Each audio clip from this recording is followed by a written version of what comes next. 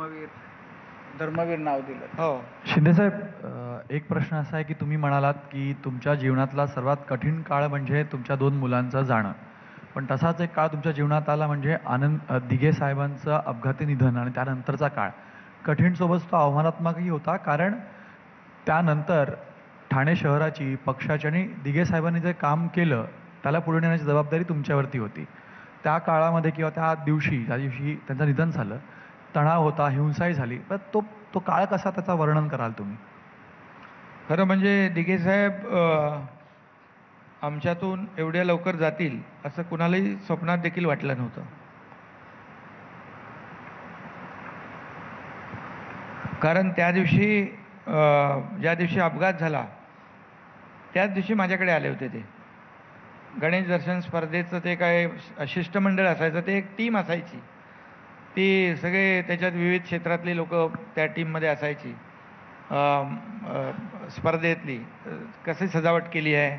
त्याचा काय देखावा काय त्याचा विषय काय ह्या सगळ्या गोष्टी बघायचे आणि मग त्यावेळेस ते दिघेसाहेब स्वतः यायचे.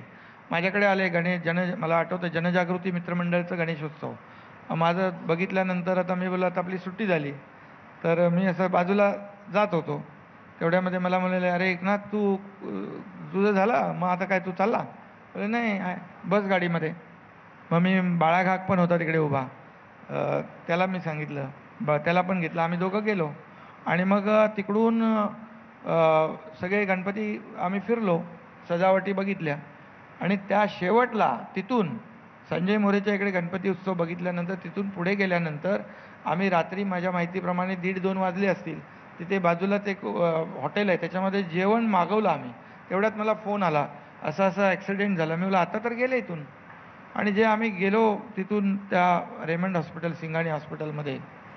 आणि ती परिस्थिती एकदम म्हणजे तिकडे दिघेसाहेब आम्हाला भेटले काळजी करू नको एकनाथ बरोबर आहे मी बाळ ठीक आहे असं आहे असं बोल बोलले मला. पण त्यानंतर ते काही पुढचं जे काही दुर्घटना झाली आणि त्यानंतर जो काही उद्रेक झाला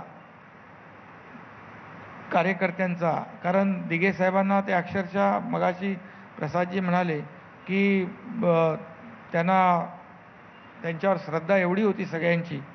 आणि मग ते सगळं झाल्यानंतर अक्षरशः आम्ही तिथली परिस्थिती एवढी भयानक होती की तिथे आणखी थोडा वेळ जर आम्ही थांबलो असतो तर तिथे ते ऑक्सिजन गॅस सिलेंडर ब्लास्ट झाला असते. सगळे लोक त्याच्यामध्ये कितीतरी लोकांची जीवितहानी झाली असती. मग रघुनाथ मोरे आमचे तेव्हा समन्वयक जिल्ह्याचे होते. त्यांना आम्ही म्हणालो आता इथून दिघे साहेबांची डेड बॉडी जी आहे आपल्याला बाहेर काढावी लागेल.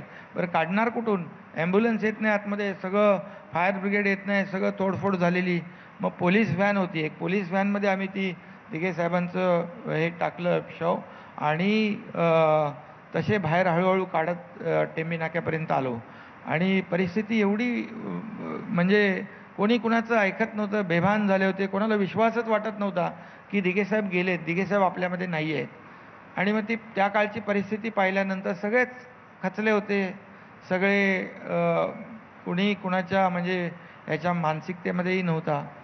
मग त्यावेळेस फार ते एक चॅलेंजिंग होतं. मग त्या सर्व कार्यकर्त्यांना सही सलामत जवळपास दीडशे दोनशे कार्यकर्ते होते अरेस्ट झाले होते. आणि त्यांना बाहेर काढणं आणि त्यांना जामीन करणं ह्या सगळ्या गोष्टी ज्या त्यावेळेस केल्या. आणि त्यावेळेस मोठ्या साहेबांना देखील चिंता होती काय होणार पुढे? पण सगळ्यांच्याच सहकार्याने त्यावेळेस पोलिसांनी देखील सहकार्य केलं. आणि हे सर्व कार्यकर्ते बाहेर आले. तर त्याच्यात खूप काही करावं लागलं पण ते आपलं कर्तव्य होतं ते आपण केलेलं आहे.